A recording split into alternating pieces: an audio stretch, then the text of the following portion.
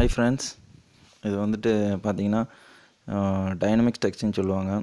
ஆக்சுவலாக இது நம்மளே பண்ணிக்கலாம் அந்த ஸ்டெச்சிங்கு ஆனால் இருந்தாலும் ட்ரைனர் பண்ணும்போது எப்படி இருக்குன்றதை நான் ஒரு டெமோ காமிச்சிருக்கேன். இந்த நம்மளே பண்ணுறத வந்து உங்களுக்கு நான் வந்து அடுத்த வீடியோவில் போகிறேன் இது வந்து பார்த்திங்கன்னா பைசப்ஸ்க்காக ஒரு ஸ்டெச் பண்ணுறது இது வந்து நல்லா ஃப்ரீ ஆகும் மசில் ரிலாக்ஸ் ஆகும் பிளட் சர்க்குலேஷன் நல்லாயிருக்கும் பைசப்ஸ் கிளாஸ் போடுறதுக்கு போட்டதுக்கப்புறம் நீங்கள் அது போடணும் அந்த மாதிரி இருக்கும். இது பார்த்திங்கன்னா ட்ரைசப்ஸ்க்காக போடுறது.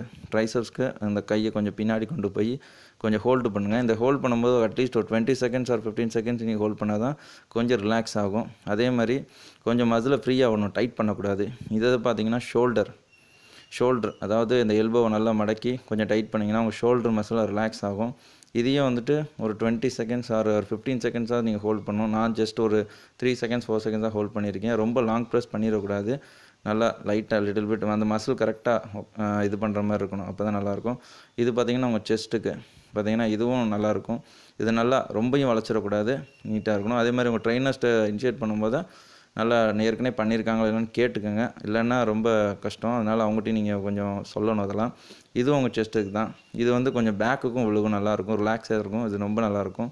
அதே மாதிரி இந்த நடுவில் உங்கள் பட் உங்களோட பேக் மசில் நல்லா ஃப்ரீயாக ஒர்க் ஆகுது. இது பார்த்திங்கன்னா உங்களோட ஹிப்புக்கும் பேக்கும் நல்லாயிருக்கும். பேக் பெயின் உள்ளவங்களுக்கு இந்த மாதிரி இருக்கும் இந்த மாதிரி ஸ்ட்ரெச்சிங் வந்து ரொம்ப யூஸ்ஃபுல்லாகவே இருக்கும். ரொம்ப நல்லாவே இருக்கும். அதே மாதிரி இந்த இது பார்த்தீங்கன்னா முதுகில் அதாவது உங்களோட பேக்கில் இருக்க லாக்கெலாம் ஈஸியாக ரிலாக்ஸ் பண்ணி இதில் எடுத்துட்ரும் இந்த மாதிரி இதெல்லாம் பண்ணும்போது.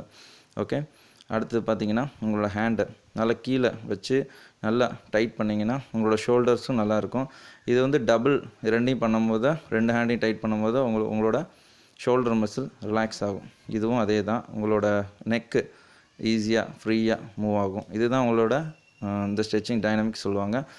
Okay thank you